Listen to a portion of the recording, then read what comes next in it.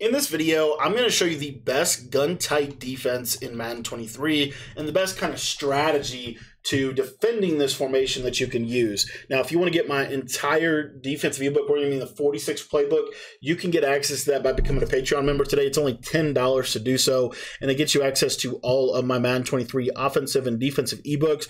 It also is going to get you access to all of the material that we're going to be dropping that is going to help you prepare uh, for future Maddens like Madden 24. So we've got a lot of content for the summer planned um, that is going to help you improve your game going into Madden 24 and this is one of those videos that's going to teach you kind of a concept for how to defend um, against, you know, against like a compression set. So really the best thing that you can do when we talk about defending against a compression set, what I really like to do is put my cloud flats on 25 or 30 put my curl flats on five, and then you pretty much want to have like this. Now, one other quick tip go ahead and make sure if you're on next gen that you have the zone coverage set to match.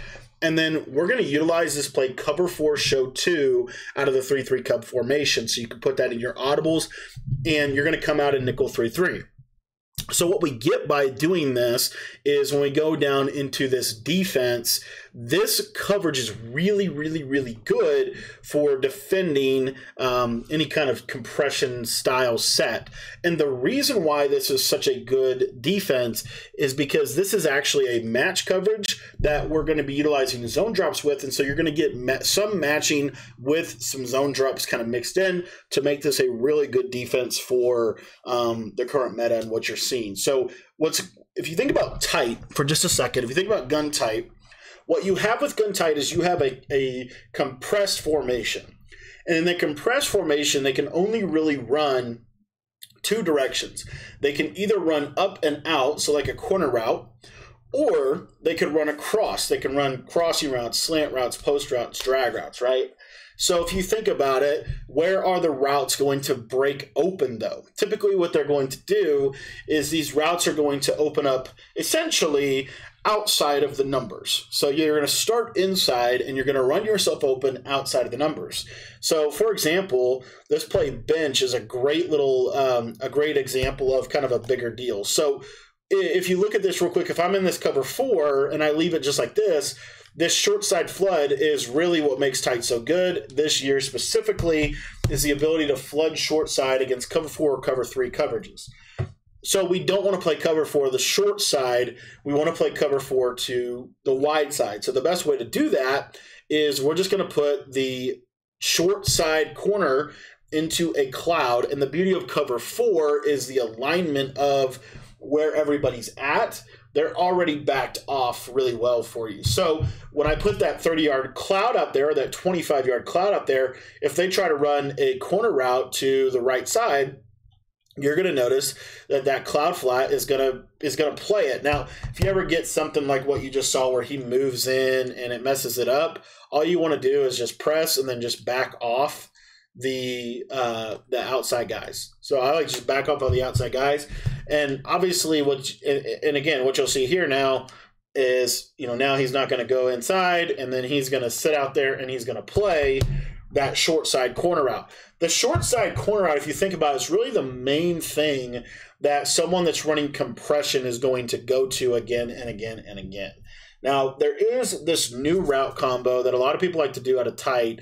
Um, and this is why, if you're going to run this defense, it's really important to make sure that your safeties have mid zone knockout. When you press them, or if you just manually walk them down, if they don't have mid zone knockout, basically what you're saying is you're good with this all day long.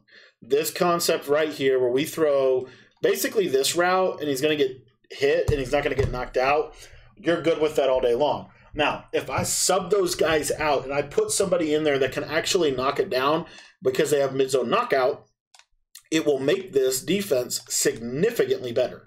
Um, significantly better.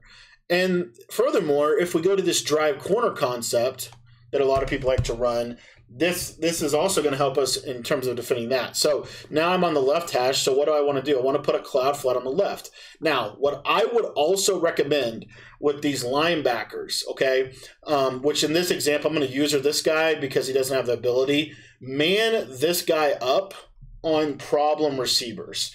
So one of the routes that's problematic um, maybe is this deep corner route to the left side, or maybe it's this outside corner route, whatever it is. Okay, but man him up, and then what you'll see is this deep corner play that everybody likes to run, um, or PA seams.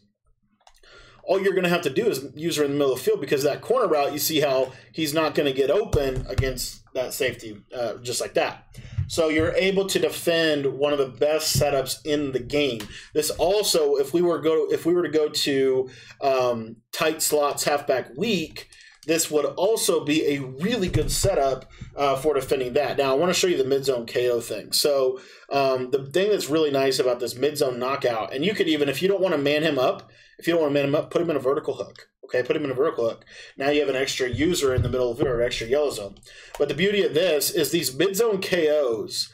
Um, if they if they even get close to that that slant, they will knock or that post route, they will knock it down. So, and, and I'll try to give you a little bit better of an example here. Let me do this type of setup. Um, you know, so something like this and I'm not going to put a yellow zone out there. But basically, these safeties, when you get them down about at about eight yards, something like this, this is a really good depth for them to be able to get in the throwing lanes on these like this post right here. So you see right there, you also get matching from your three rack, which is really nice. Why? Because we didn't put our hooks on five.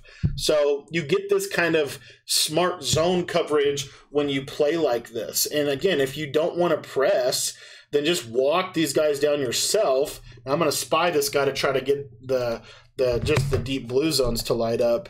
But again, you know, you get something you get something like this this is very common, and you see, watch these safeties with that mid zone. See how they break on the ball and then they knock it out just like that. So mid zone KO is really important if you're going to play this style of defense. But what this style of defense does, and what makes this this style of defense so good, is you might think, well, what if they did, what if they did this adjustment where they put a streak over here and they're going to clear out space now to throw that guy over the top of a 30 yard cloud. Okay, that would normally work if we didn't get that man up, but now you see because of the man up, that uh, inside quarter is going to play it every single time. So that's why this defense is so good because it constrains the space that gun tight wants to attack. Gun tight wants to throw corner routes. They want to throw slant post concepts. They want to throw the ball to the outside of the field. And when you can use a coverage like this, cover four show two with the zone drops and the coverage and the adjustments that I just showed you, it really takes your gun tight defense to a whole new level. Guys, I want to thank you for watching the video. And if you want to get my entire gun tight offense or uh, my entire uh, 3 3 Cub defensive ebook, head down to the description and go join the Patreon. 10 bucks gets you access to all of our ebooks over there 3 3 Cub, Dollar, Nickel Over, Big Nickel Over G, Gun Tight, Trips, Bunch, U Trips, everything. Over 25 different ebooks this year we've dropped, and we'll be dropping even more this summer to help you guys prepare for Madden 24. So if you're not a Patreon yet, head down to the description and go sign up today.